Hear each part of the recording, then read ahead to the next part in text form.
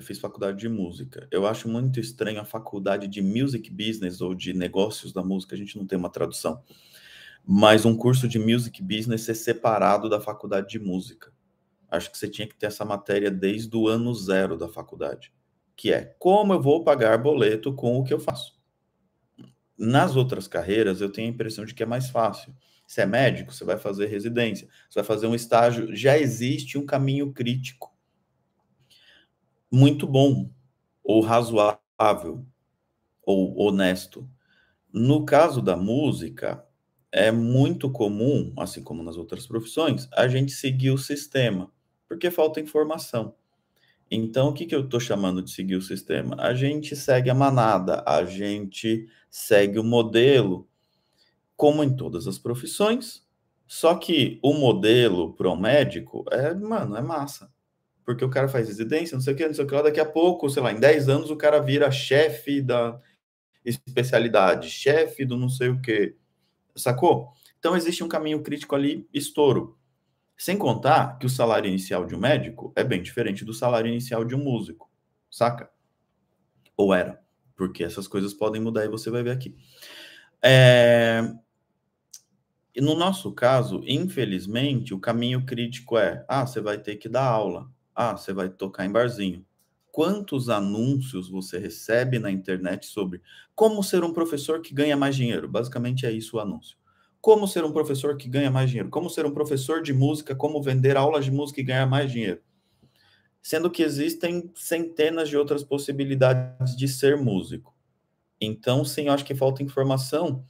E o sistema que é, que é, que é criado para a gente, esse caminho crítico que é criado para o músico, é o pior possível, porque é ou você vai trampar em boteco. Outro dia, um amigo aqui do prédio, ele falou que gosta de ir num bar que tem aqui no mall, num, num shoppingzinho aqui perto de casa. E ele foi lá e viu uma menina tocando e disse que a menina tocava bem, cantava bem. Ele, ele é robista, né? Ele é um músico robista. Opa, desculpa atrapalhar. É, você tá gostando do vídeo? Então já deixa teu like. Você quer me ajudar? Deixa comentário. Você quer ajudar um brother? Manda isso aqui para ele, compartilha. Se gostou do canal, assiste mais vídeo, se inscreve e ativa a notificação. Tudo isso que eu tô te falando custa zero reais. Se você quiser ser músico de cruzeiro e quiser minha ajuda, eu tenho uma mentoria, o link tá aqui embaixo. Se você de repente estiver meio sem grana ou não tiver muita certeza se quer ser meu mentorado, não tem problema. Eu também tenho um livro Como Ser Músico de Cruzeiro e o link também está aqui embaixo, beleza? Mas toca bem, saca das coisas, então eu acredito no julgamento dele. Disse: ah, a menina toca bem, canta bem, repertório bom internacional. E aí perguntei pro da casa. Ele frequenta a casa, frequenta esse bar há algum tempo. Quanto que vocês pagam para ela? E como é que é o esquema? Se eu não me engano, ela, ela toca três ou quatro horas no dia que ela vai e ela ganha, acho que 200 reais para fazer isso.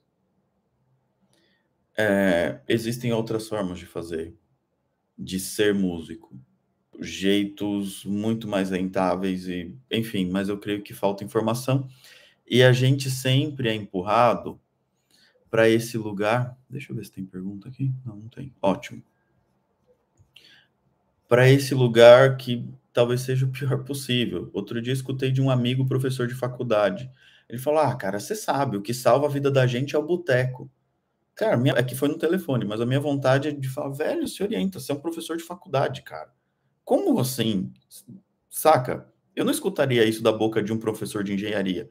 Eu não escutaria isso da boca de um professor de medicina, do chefe da residência do hospital, sei lá, Albert Einstein, sacou? Mas eu escuto isso da boca de um professor de faculdade. E eu sempre achei muito estranho a faculdade de música e o music business serem separados na maternidade, saca? Sendo que devia ser uma coisa só. E aí a gente não questiona também, né?